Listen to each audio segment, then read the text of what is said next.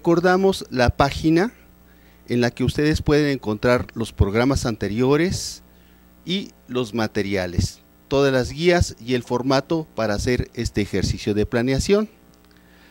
Asimismo está el correo electrónico mediante el cual ustedes pueden enviar todas sus preguntas. recordamos que habrá un programa especial en donde les daremos respuesta. Eh, les recordamos las instrucciones generales para este ejercicio. En la página ustedes encontrarán las guías académicas de su asignatura que deberán leer cuidadosamente. Para este ejercicio de planificación argumentada que es parte del examen de permanencia, se, les solicita que hagan el ejercicio con un aprendizaje esperado del bloque 2. En el formato que ustedes encuentran en la misma página, primero eh, se tendrá que buscar la información para hacer la, eh, redactar la argumentación el formato que les enviamos está en Word para que les permita extenderse lo necesario. Estamos hablando de media cuartilla a una cuartilla que tengan ustedes que redactar con dicha información. En los programas de televisión hemos estado dando algunas recomendaciones y responderemos sus preguntas. Eh, esta prueba del examen de permanencia, que es la tercera, dura cuatro horas en línea, no tienen formatos y no pueden tomarse apuntes, utilizarse apuntes. Por eso es importante que ustedes hagan este ejercicio previamente. Aquí les recordamos que el primer examen es el de las análisis de evidencias de aprendizaje, pero para hacer ese, ese análisis nosotros requerimos la planificación. Por eso en esta ocasión empezamos por la planificación y terminaremos con las evidencias de aprendizaje. Aquí trataremos en este programa, el anterior ya vimos un poco el contexto, el, formato. Aquí en esta ocasión trataremos sobre cómo se hace la planeación de ese aprendizaje esperado. ¿Qué elementos tenemos que tomar en cuenta? En primer lugar, tomamos en cuenta el contexto. Este contexto es externo es decir, las, condiciones sociales en las que está inmersa la escuela, e interno, es decir, la infraestructura de la escuela, su organización y específicamente la ruta de mejora. Estos son elementos claves que nosotros tenemos que tomar en cuenta para hacer este, este plan. En segundo lugar, tenemos que revisar el contenido eh, programático del bloque 2. Nosotros lo hemos clasificado para todas las asignaturas en tres tipos. Eh, los contenidos de carácter conceptual o informativo, lo que se conoce como el saber. Los contenidos de carácter procedimental o saber hacer. Y los contenidos de carácter actitudinal relacionados con el ser y saber convivir. Entonces tenemos que definir cuál es el contenido de nuestro eh, aprendizaje esperado para ver cuál es la secuencia didáctica que le corresponde. Así, por ejemplo, en los contenidos conceptuales se desarrollan mediante las secuencias didácticas que están en, en la guía del maestro, que tienen un inicio, un desarrollo y un cierre. Pero en el caso de los procedimentales y actitudinales, también se desarrollan a partir de proyectos y estudios de caso. Entonces tenemos que adecuar el contenido a la situación didáctica en la que vamos a desarrollarlo. Y finalmente eh, se nos solicita en este ejercicio del examen de permanencia que establezcamos la metodología de la evaluación. Esta consiste en definir qué instrumentos son adecuados para evaluar el aprendizaje esperado, que son las pruebas orales y escritas, de opción múltiple o abiertas, las listas de cotejo o control, las rúbricas y los portafolios. Entonces, cuando nosotros tengamos eh, seleccionado el aprendizaje esperado, primero nos referiremos a ese contexto externo e interno y definiremos diagnóstico del grupo en función de nuestros alumnos con alto y bajo desempeño. Este alto y bajo desempeño está en relación con el propio examen de permanencia en su fase 2. Aquí es muy importante ver que en este diagnóstico definamos cuáles son las características de los alumnos con este alto y bajo desempeño. Por supuesto que los elementos esenciales es el entorno social y familiar de ambos, los conocimientos previos, pero en el caso de los alumnos que tienen bajo desempeño académico, eh, tenemos que distinguir las barreras de aprendizaje que ellos enfrentan.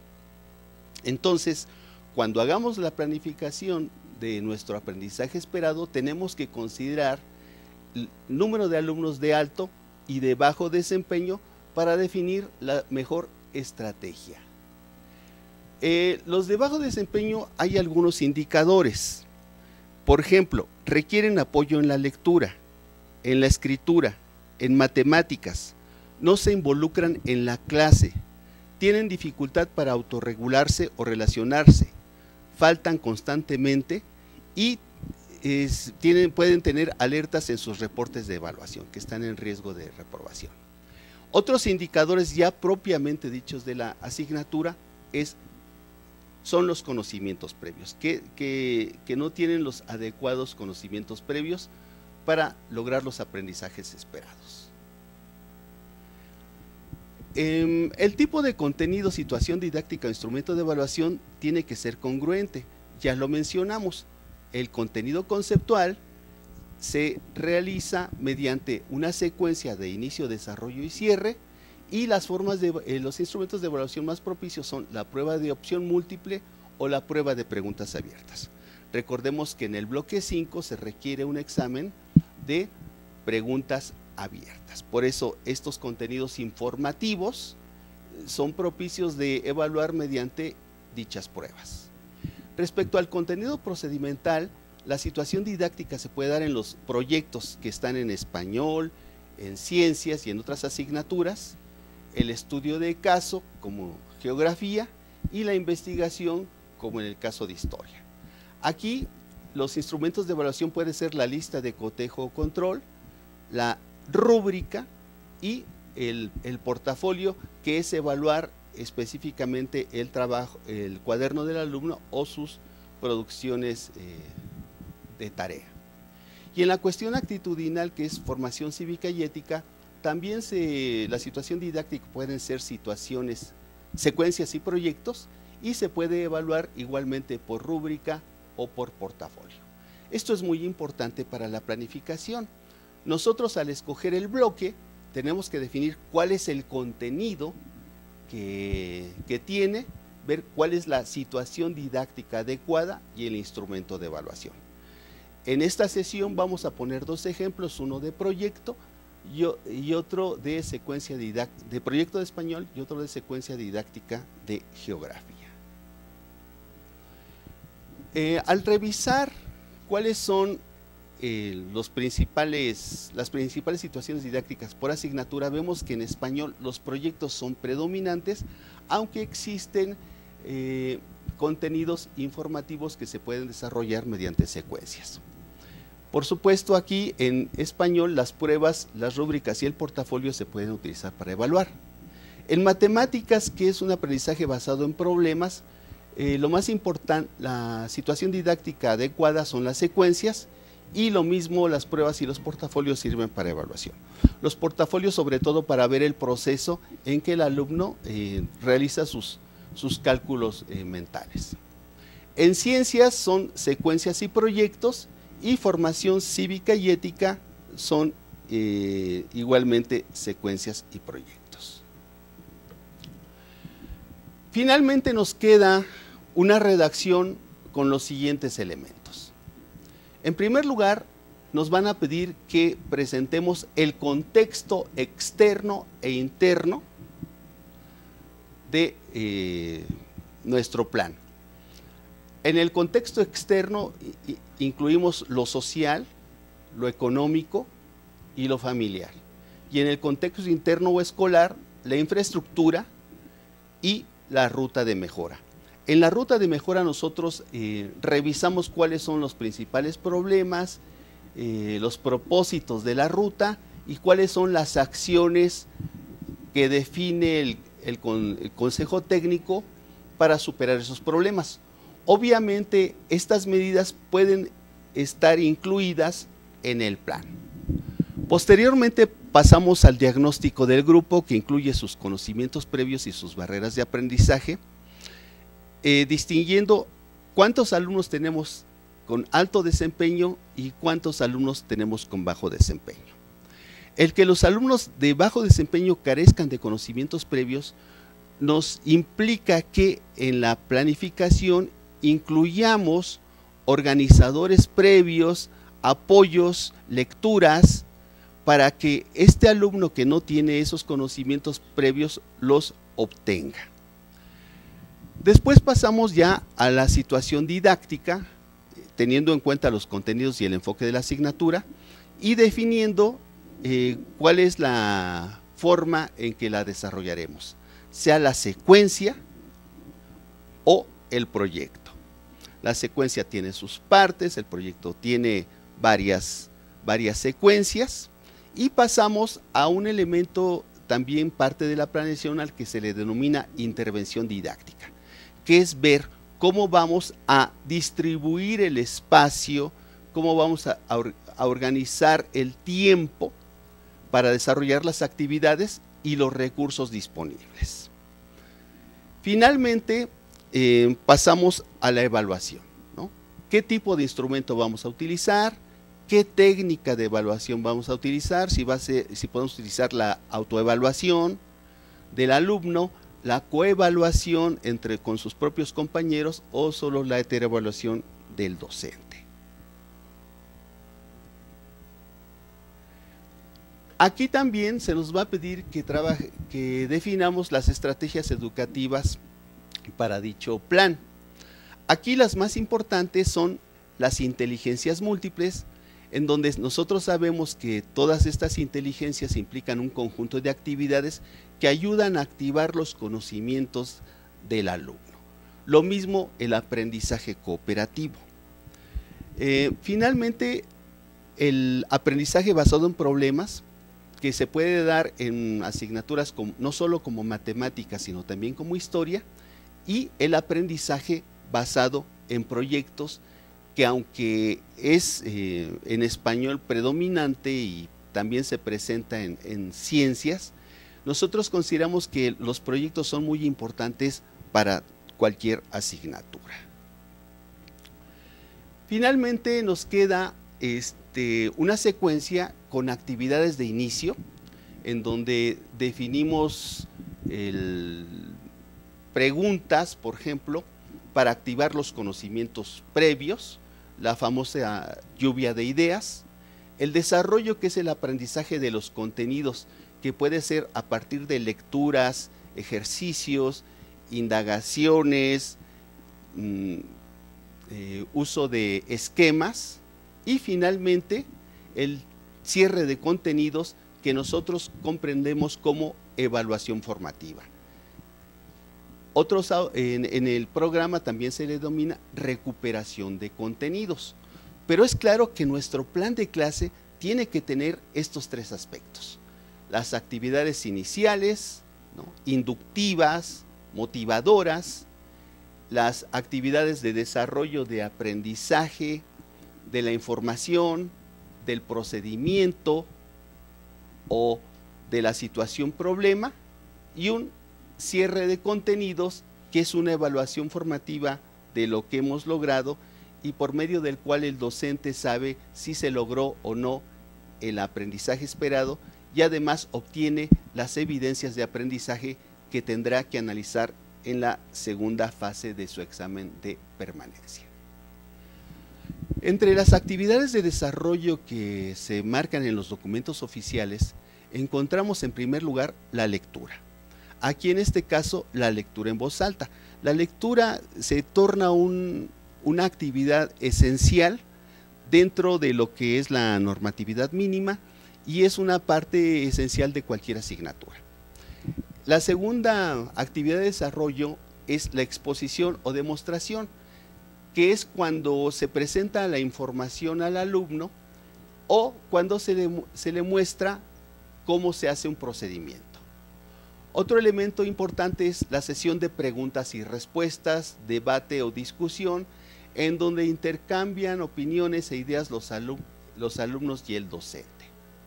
La cuarta es la práctica, que implica que los alumnos realizan la secuencia de un procedimiento o retienen la información o las ideas esenciales del tema.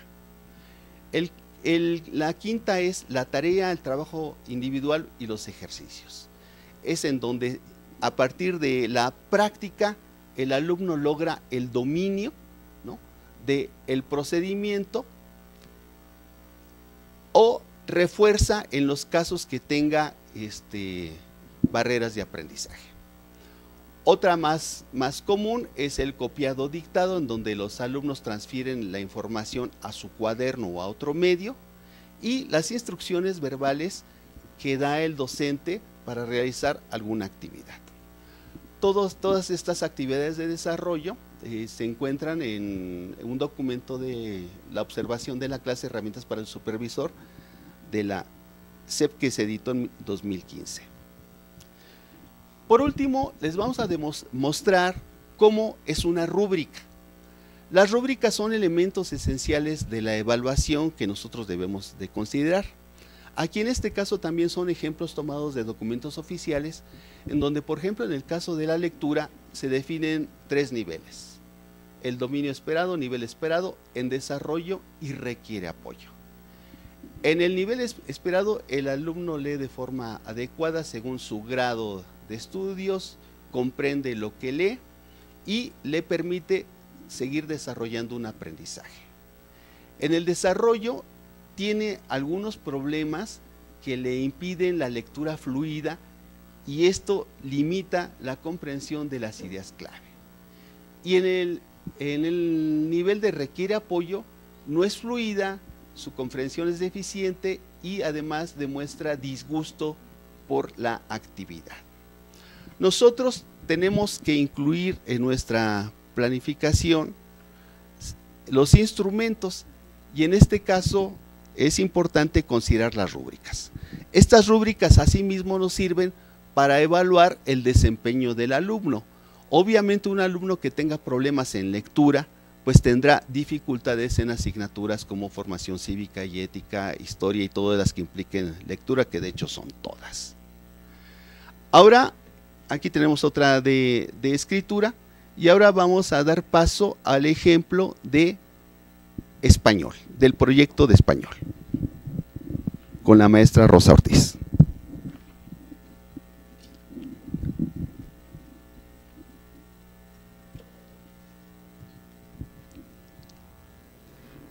Buenas tardes, estimados maestros.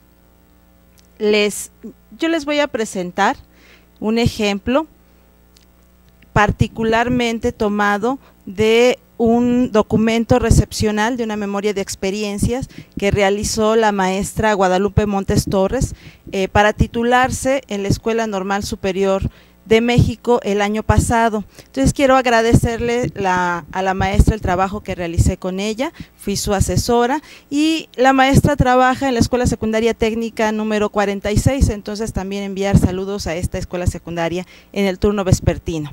Antes de comenzar les quiero recordar las redes sociales. En Facebook nos pueden encontrar en Dejes Media Educativa, en Twitter en arroba Dejes Media, el mail que ya presentó el maestro, eh,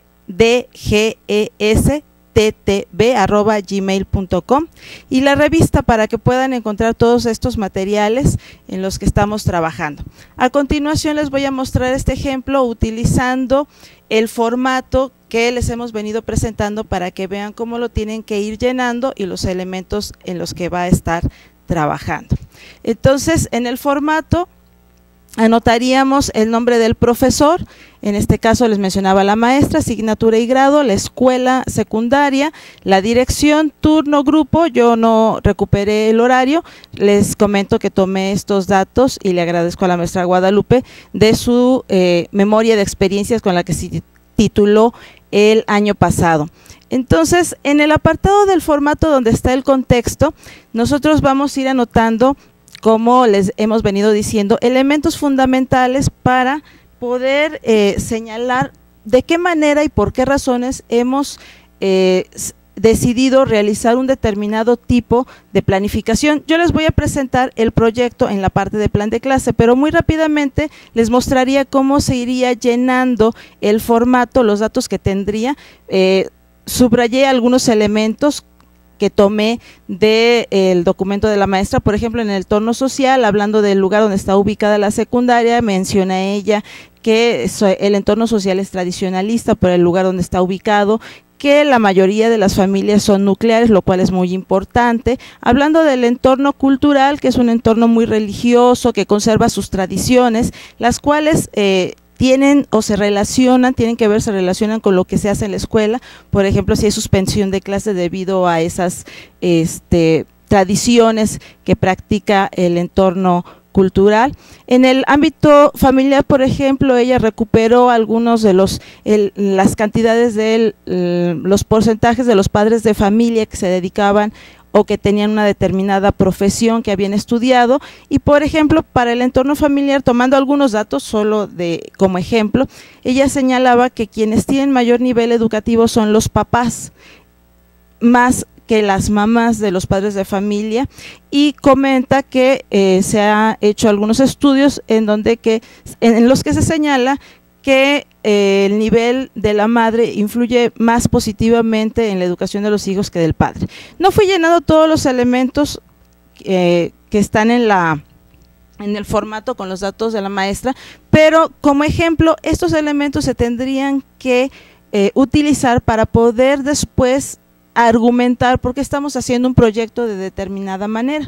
Aquí se comenta sobre el contexto ya interno de la escuela, algunos datos sobre la organización, por ejemplo, en el ciclo pasado se tenían 289 alumnos, 430 hombres, 399 mujeres, y en esta parte que yo ya no llené, pero aquí se tendría que hacer la descripción utilizando estos datos, es decir, los datos que están en la parte de arriba en el formato no van a, a ustedes a utilizarlos o a tenerlos presentes en el día del examen, sino la descripción que hagan aquí con la información que van recopilando en los cuadros anteriores, de tal manera que todos estos datos no tendrían sentido así, sino como una argumentación de por qué el contexto interno y externo de la escuela influye en el trabajo académico y en el plan de clase que ustedes decidieron realizar para ese grupo en particular.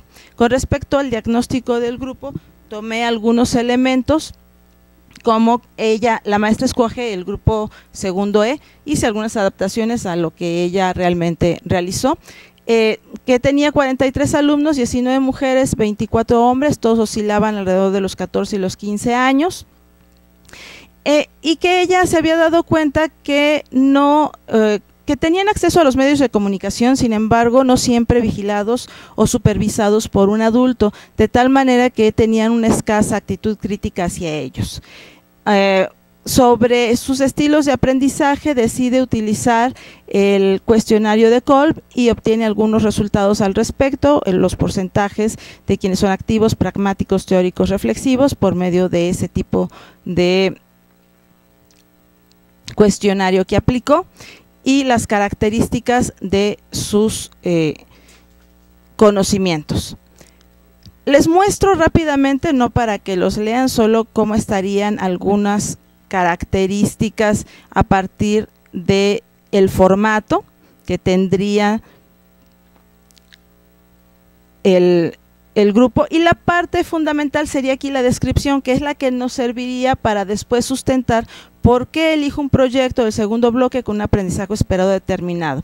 Y entonces quisiera leer esta parte. Por tanto, se hacía necesario planificar un proyecto sobre la publicidad, teniendo en sobre la publicidad de los medios de comunicación, teniendo en cuenta una organización y secuencia de actividades y recursos que lleven al alumnado a realizar un aprendizaje significativo y transferible a su vida cotidiana. Esto lo tomé textual de su, eh, su documento recepcional de la maestra. Ahora sí les presento lo que sería el plan de clase.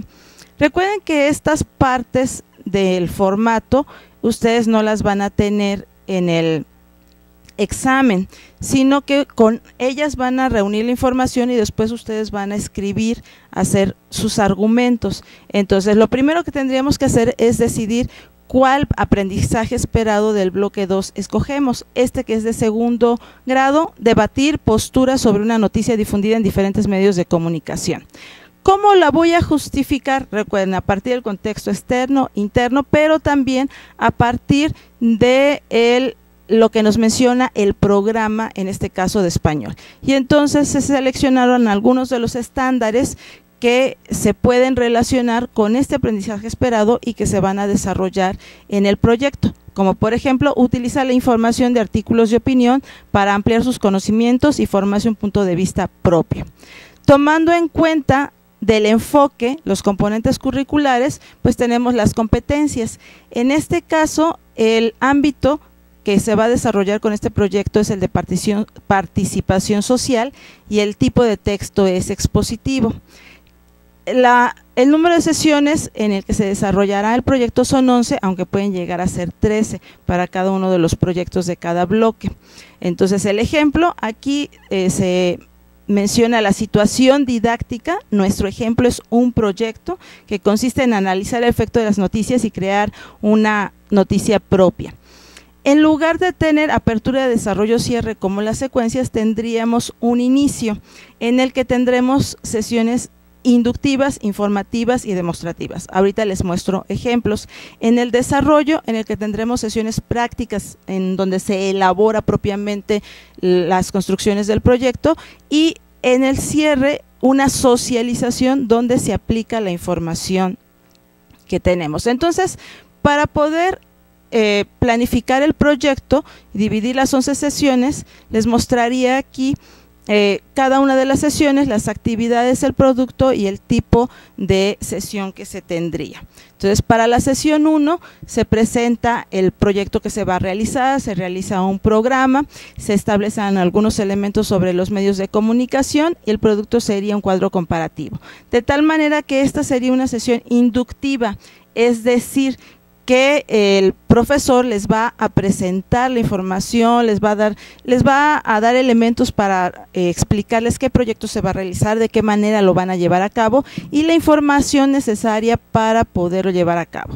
En una segunda sesión se identificaría qué tipo de recurso mediático se va a utilizar, la publicidad o las noticias. El producto sería la fundamentación a esta respuesta en su cuaderno y esta sería una sesión informativa donde lo que estarían haciendo con el profesor es obtener información para poder después llevar a cabo el proyecto.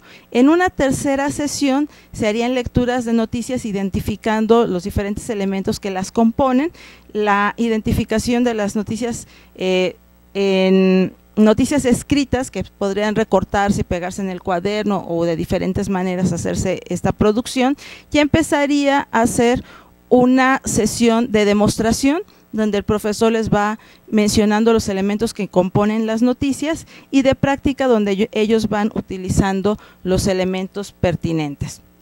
En la cuarta sesión se organizarían los equipos, sería una lectura sobre qué son los medios de comunicación y qué es una noticia, se pediría un mapa conceptual como producto y eh, esta sesión ya sería estaría combinando lo informativo con lo práctico, donde van obteniendo información de la lectura, pero además eh, se va poniendo en práctica la información que están obteniendo. En una quinta sesión sería el análisis de los medios de comunicación, se pediría que con ello elaboraran un mapa conceptual y esta sería una sesión informativa, dado que van obteniendo información y demostrativa porque el profesor tendría que irles mostrando cómo realizar el mapa conceptual. Una sexta sesión donde se haría el análisis de las noticias, que ya sería práctica. Después los equipos con van a hacer sus propias noticias, se repartirían algunos temas y se irían haciendo los primeros eh, borradores para elaborar sus noticias, como en la sesión octava y esta ya sería de práctica. Los alumnos presentarían como producto unos carteles noticiosos donde se mostrarían las noticias. En una novena sesión elaborarían los carteles donde ya estarían aplicando la información que se fue desarrollando en las sesiones anteriores. En una décima, un debate acerca de la información que se presenta en diferentes tipos de noticias. El producto sería la obtención de conclusiones y esta ya son sesiones de aplicación. Para cerrar, para el cierre o eh, la parte final del proyecto, que es la socialización, se presentarían a la comunidad los carteles eh, noticiosos se les explicaría las, diferentes tipos de noticias y el impacto que tienen y esta sería de aplicación. Todos estos elementos que les, les he mencionado anteriormente, que están en el eh, formato que nosotros les hemos presentado, lo que eh, su intención es que ustedes reúnan la información necesaria para finalmente hacer su argumentación.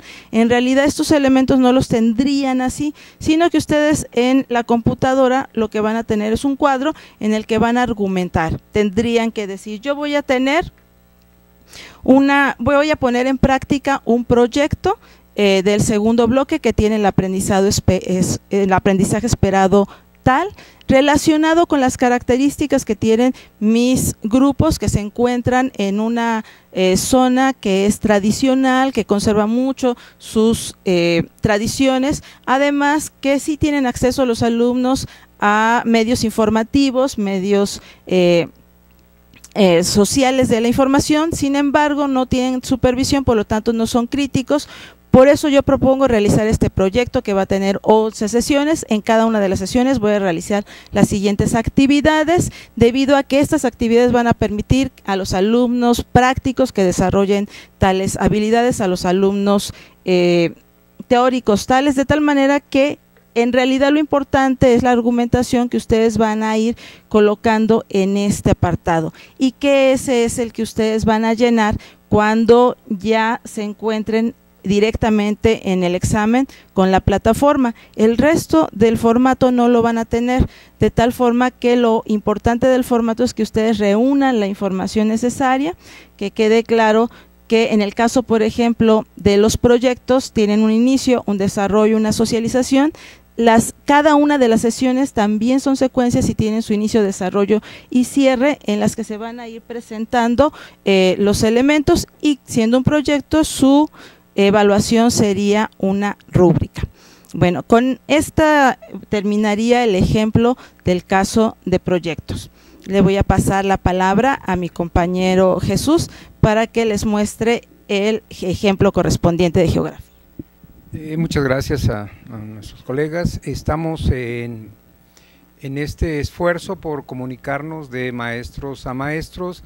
Eh, hemos consolidado alguna experiencia en ese sentido y queremos presentarles ahora un ejemplo muy rápido, muy breve, en solo cinco minutos, de lo que sería un, eh, aprendizaje esperado en el ámbito de la geografía.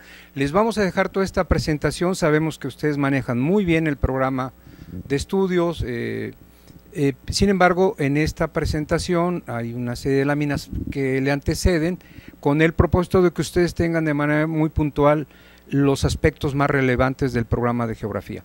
En este caso tenemos que, eh, de acuerdo al formato que se presentó, tenemos que hablar del propósito de, estudio y el enfoque didáctico. Aquí retomamos dos ejemplos de los cinco propósitos del estudio de la geografía en la educación básica, que ustedes los van a tener ahí eh, en el material, y el enfoque didáctico es eh, desde esta perspectiva construir la visión global sobre el espacio geográfico mediante el reconocimiento de sus componentes naturales, en este caso para el bloque eh, el bloque 2, ¿no? que vamos a, tener presente. El bloque, seleccionamos del bloque 2 un, eh, aprendizaje esperado que nos permita eh, manejar una, un, conocimiento procedimental. Eh, de tal manera que el eje temático es componentes naturales y la competencia es que valoren la diversidad natural.